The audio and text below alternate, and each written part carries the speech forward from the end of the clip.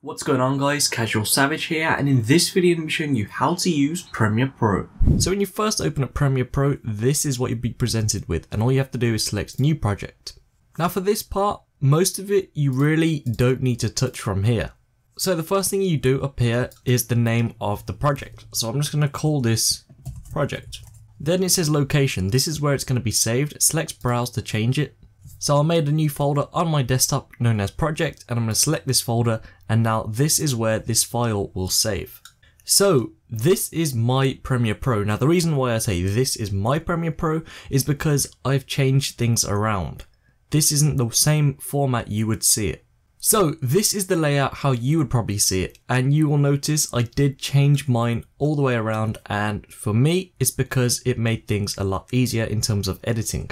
So what do we actually have on screen? Well, up here would be the video that you drag into your timeline. You'd be able to watch it back here and you can see there are some controls at the bottom which we will get into later on. Over to the side here is source clips. Now when you import media down here in the bottom left, then you can click on it and you'll see you'll be able to preview it here. Again, we have the exact same buttons here that we do have over on this other side. Now effect controls is the next thing up here and when you click on your video in your timeline, coming to effect controls you can actually control quite a lot. You can control the scale, you can control the position and there's a quite a lot of other things you can control as well. Next is audio clip mixer. This is where you can see how high your levels are when you're talking. And then of course here we have the metadata. Completely optional if you want it, to be honest it's been no use to me. So the first thing I'm going to be doing is showing you how to customize the layout and I always recommend that you customize it to a point where you're comfortable in editing. So first of all metadata like I just mentioned it's not useful for me so I can close this panel. Audio mixer I never use because I already do my audio in Audacity so I can close this panel. Um, but these two I'm going to keep. Now coming down here I'm going to left click here and I'm going to drag this up to this bar. Now you can see everything that was down here has gone up there. So are we going through the next thing? Media browser.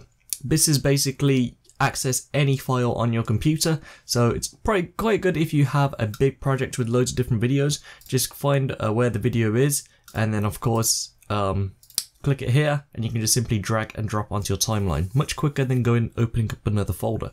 Next one is libraries. Again, this is something I don't use. Some people may find it useful. So I'm going to close out of this we also have info. This is info on a video you insert. It'll give you all the details, such as the frame rate and the uh, size of the video. Again, not useful for me because I know the videos I do. Close panel.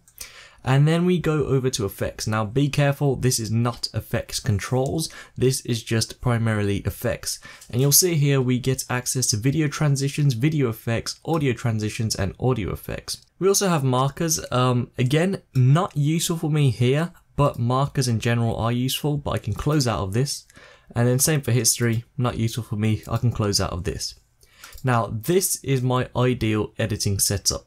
I've got a long timeline here. Over to the side I have my audio gain, and here I have my simple tools that we will get into. So you can see I now have hold of video, I've just dragged and dropped it right here. So there you go, you can see I dragged and dropped it straight into the timeline. So now I'm going to be talking about the timeline. So this is in uh, minutes right now, and you'll see it goes into 5, 10, 15. Now the reason for that is because we're quite zoomed out. But if you come down here, you can see you can left click and drag, and now the min each minute's going to appear, and as we get closer, it's going to go to seconds, just like that. So you can be very accurate. You can see you can go all the way to milliseconds like this.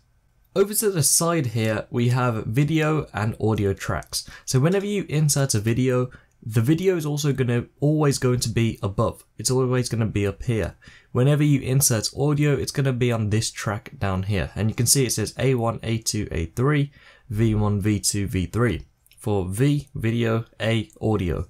Now I know it just shows three, however you can always add more by right clicking here, add a track, and you can see video 4 is showing.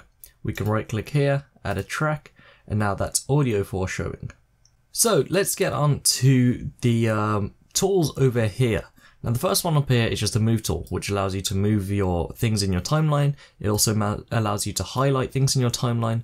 So if you ever have a bunch of things in your timeline and you want to move it all at once, just left click and drag out. and you'll see this box will come up. Just make sure everything is highlighted. You can see this has turned white and if I come up, the audio is also covered as well and I can just drag them at the same time.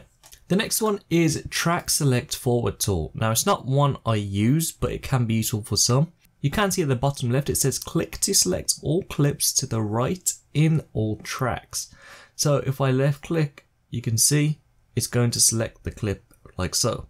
The next thing we have is the Ripple Edit tool. It's not one I particularly use. The next one is a razor tool. Now this is going to be one everyone uses.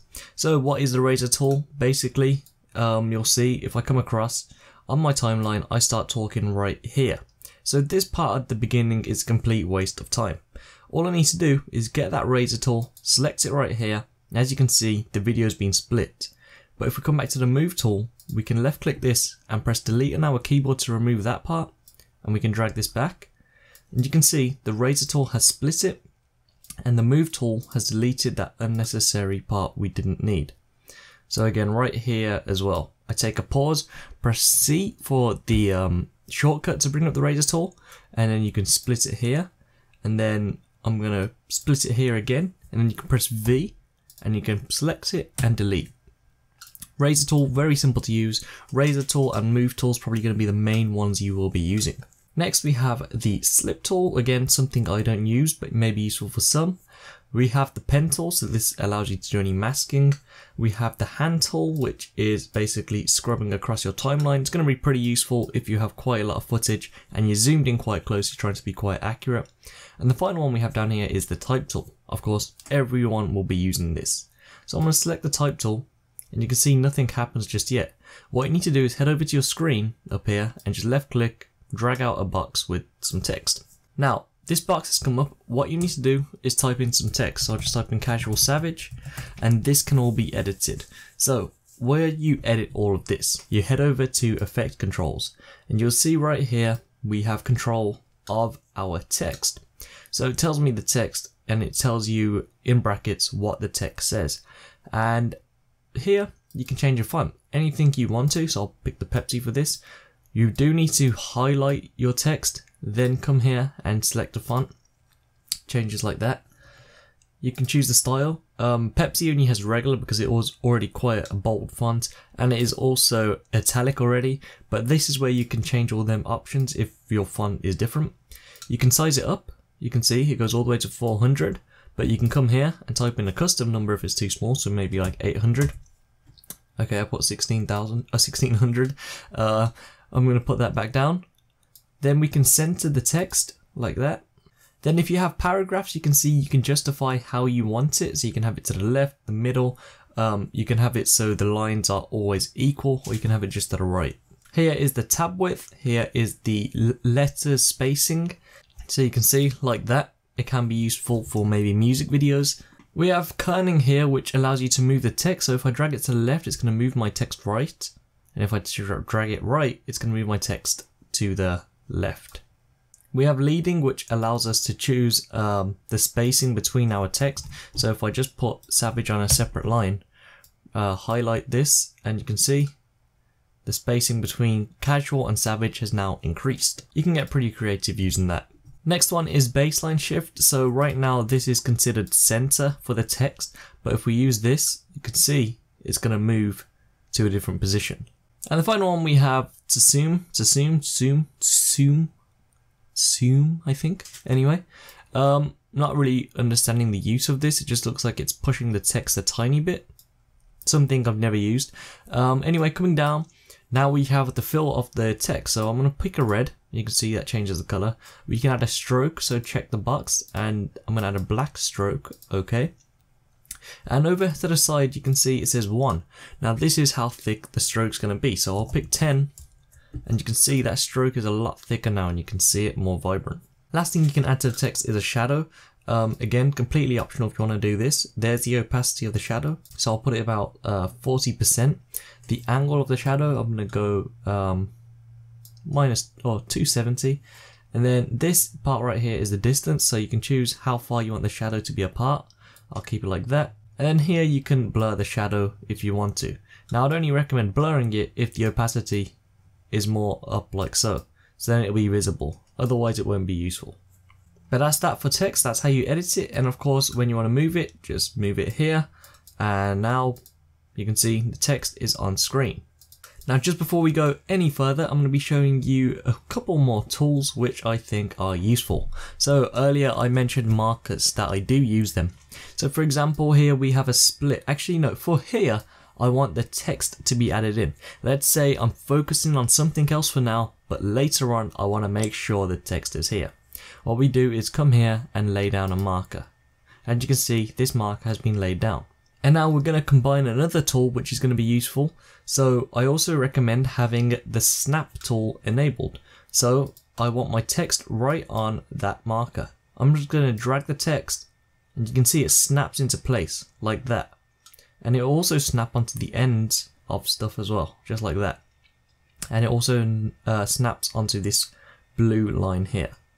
Now if you're ever playing back your video and it's lagging, what you can do is come down here and just change it to a quarter. If it's still lagging, try sizing down the video up here. So, oops, try sizing down the video here to about 10%. Um, it's going to be difficult to see, but that's what you're going to have to do if it is lagging.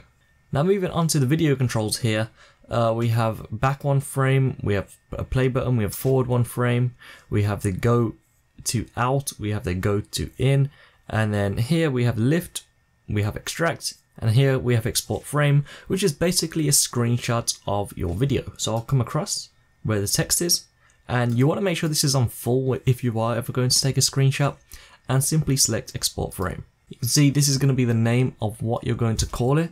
So I'm just going to call it project screenshot. And then you can choose the format you want it in. You can see there's all these formats right here. I'll pick a JPEG. And you can also import it into your project. If that's what you want it for, then you can do that. If not, maybe just for a thumbnail, you don't need to check it. You can see the path is currently saved to this right here, and that's not the folder we selected at the start. So you need to come over to browse. And you can see I've selected my folder and I'm going to select select folder. Now you can see it's being saved there, I'm going to select OK. And you can see in that folder is that same screenshot we just took. If it loads.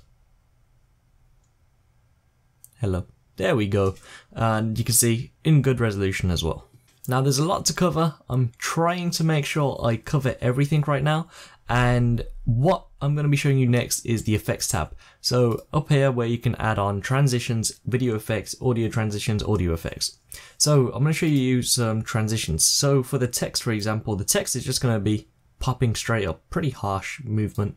And let's say we want it to slide in. So I'm going to come to the slide tab and I'm going to come to the slide. I'm going to drag and drop this onto the start of that text and you'll see it's covering some of the text. That's because that's the transition time. But I also want it to slide off. I don't want the text to just go off. So I'm going to drag on the slide to the end as well. Now, nothing's come up. How do we customize the sliding? So select this text here and come over to effect controls. So if I play it through, you can see the text is going to slide in and it's going to slide out like that. So zoom in here and you can see you can adjust the time of how long it takes to zoom in. Currently by default when you add it on it's going to take a second I think but if you drag it across you can see it tells you the duration and this is now going to be a lot longer so playing it through it's a lot slower. Now you can see in the effects controls we get more control of it. We can have a border width, border color and we can even reverse it. So for the last one especially I'm going to select it, I'm going to come down, I'm going to select reverse. Now what this is going to do, you can see, it's going to go back out that way nice and smooth, instead of just wiping itself off the screen.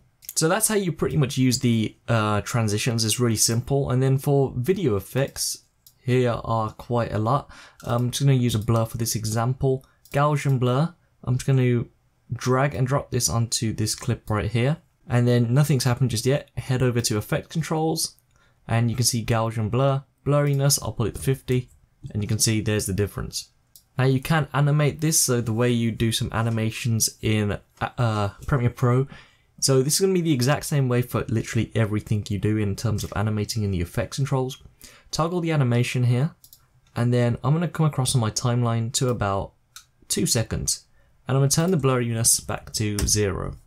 Now it's going to give the effect that it's blurry and it's going to come into focus like that. Pretty simple. Now, if your audio is too quiet on one of your video tracks, then you select it, come over to effect controls, and you can see under audio effects it says volume, select volume, and it says level. Just bump up your levels and this will be useful. Now, another thing you should mention, you'll see, because we toggled the animation, it's also going to be toggled here. So we don't want that because what this is essentially doing is making the volume loud at 4 seconds. We need the volume louder right from the beginning. So we're going to put that keyframe to the beginning and then next time when you do it, make sure the animations are unchecked and then just bump up that dB right at the beginning of your timeline. Now if you ever want to see what something looks like without something on your timeline, so for example this text, we want to get rid of it, you can see without deleting it, we can come here, press this I and it just removes it. Same for the video, press the eye removes it. Same for the audio. If you have more than one audio that you're testing out, maybe some background music, you can simply mute this audio or you can press solo to make sure that only that audio is playing. Now the final thing I'm going to be showing you is the exporting part of it. Um, I believe I've covered everything. I'm sorry if I forgot something. It just seems like there's a lot to cover here.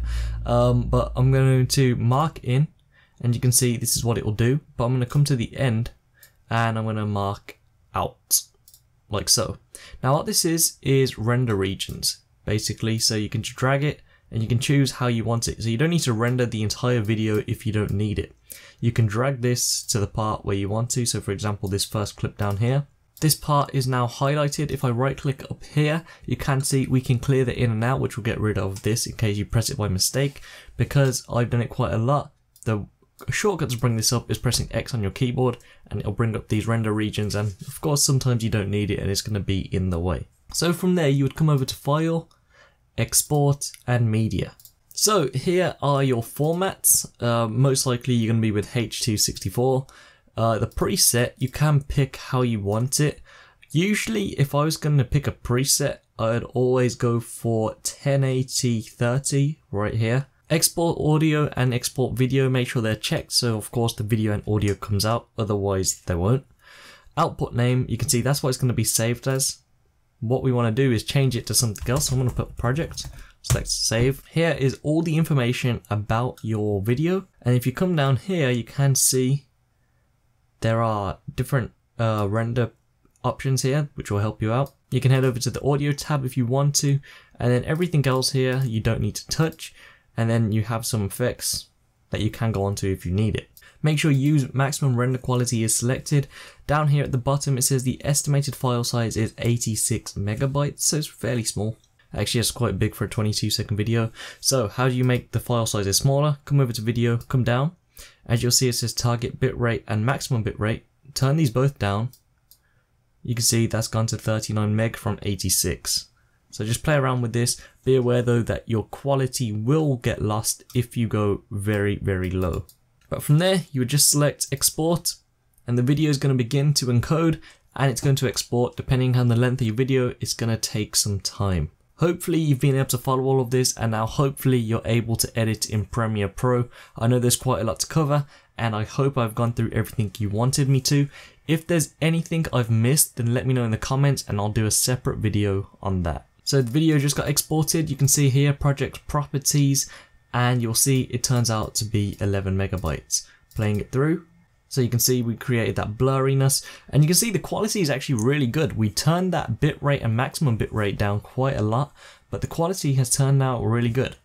And there's the text sliding in, nice effect. Looks like Windows Movie Maker. But there we go. Now hopefully I've covered everything that you wanted to see. I do apologise if I haven't because you can tell there was a lot to cover. But um, hopefully this has been useful for you. Thank you so much for watching. Please subscribe, rate, and peace.